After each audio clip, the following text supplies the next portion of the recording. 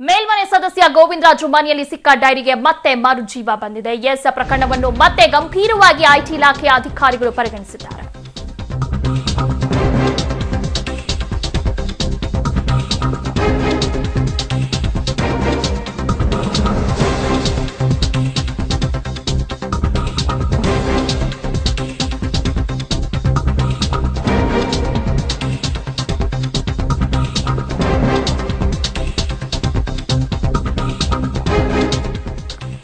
ಆಪ್ತೇಶ್ವರ H C Mahadevappa K J George M B Patil D K Shivakumar, Ramalinga Reddy ಸೇರಿದಂತೆ ಹಲವು ಸಚಿವರಿಗೆ ಈಗ ಸಂಕಷ್ಟ ಎದುರಾಗಿದೆ. ಯಾಕಂದ್ರೆ ಗೋವಿಂದರಾಜು ಮನೆಯಲ್ಲಿ ಸಿಕ್ಕ ಡೈರಿ ಪ್ರಕರಣ ಸಂಬಂಧಪಟ್ಟಂತೆ ಈಗ ಐಟಿ ಇಲಾಖೆ ಅಧಿಕಾರಿಗಳು ಅದನ್ನ ಗಂಭೀರವಾಗಿ ಪರಿಗಣಿಸಿದ್ದಾರೆ. ಡೈರಿಯಲ್ಲಿ ಉಲ್ಲೇಖವಾಗಿರುವವರನ್ನ ವಿಚಾರಣೆಗೆ ಕರೆಯಲು ಈಗ ಚಿಂತನೆ ಕೂಡ ನಡೆದಿದೆ.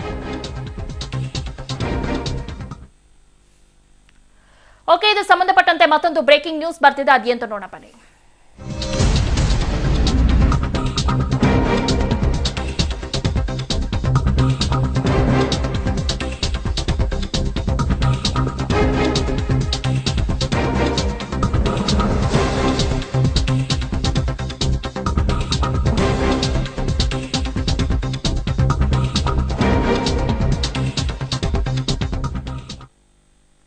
ಮೇಲ್ಮನೆ ಸದಸ್ಯ ಗೋವಿಂದರಾಜು ಮನೆಯಲ್ಲಿ ಸಿಕ್ಕ ಡೈರಿ ಈಗ ಮತ್ತೆ ಮರುಜೀವ ಪಡೆದಿದೆ. ಪ್ರಕರಣವನ್ನ ಮತ್ತೆ ಗಂಭೀರವಾಗಿ ಐಟಿ ಇಲಾಖೆ ಅಧಿಕಾರಿಗಳು ಪರಿಗಣಿಸಿದ್ದಾರೆ. ಡೈರಿಯಲ್ಲಿ ಉಲ್ಲೇಖವಾಗಿರುವವರ ವಿಚಾರಣೆಗೆ ಕರೆಯಲು ಈಗ ಚಿಂತನೆ ಕೂಡ ನಡೆದಿದೆ. ವಿಚಾರಣೆಗೆ ಕರೆಯುವ ಸುದ್ದಿ ಕೇಳಿ ಕಾಂಗ್ರೆಸ್ ನಾಯಕರು ಘಡಗಡ ಅಂತ ಎದುರುತ್ತಿದ್ದಾರೆ ವಿಧಾನಸೌಧದಲ್ಲಿ ಸಿಕ್ಕಿದ ಕೋಟಿ ಹಣದ ಪ್ರಕರಣಕ್ಕೆ ಸಿದ್ದು ಸರ್ಕಾರ ಜೀವ ಕೊಟ್ಟ ಬೆನ್ನೆಲೆ ಈ ಬೆಳವಣಿಗೆ ನಡೆದಿದೆ.